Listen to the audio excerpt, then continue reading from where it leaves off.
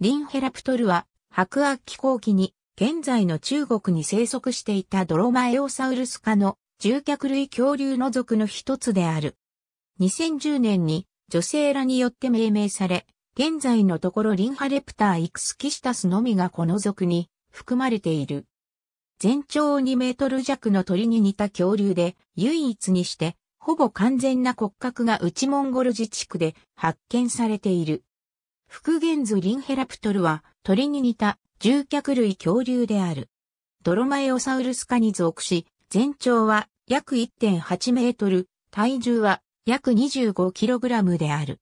リンヘラプトルはこの大きさで素早く機敏な捕食者であり、おそらく小型の角竜を捕食していたと考えられる。他のドロマエオサウルス科の種と同様に、頭骨が細長く、首がカーブし、両足の後には細長い鍵爪があり、尾が長かった。そのため二足歩行の肉食動物であったと考えられる。大きな足の鍵爪は獲物を捕らえるために使われたと考えられる。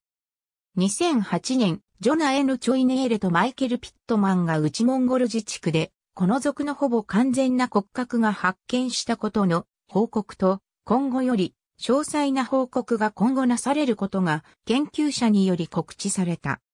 この標本はウランスハイ層の一部であるバイマンダフ層の岩石から発掘された。ウランスハイ層はモンゴルのカンパニ、アンの地層であるジャドフタ層と非常によく似ており、この地層からは、近縁なドロマイオサウルス科の種である、ザーガンやベロキラプトルが産出している。リンヘラプトルのホロタイプは、関節していて、潰れてもおらず、ドロマイオサウルス科のものとしては、世界屈指の完全な骨格である。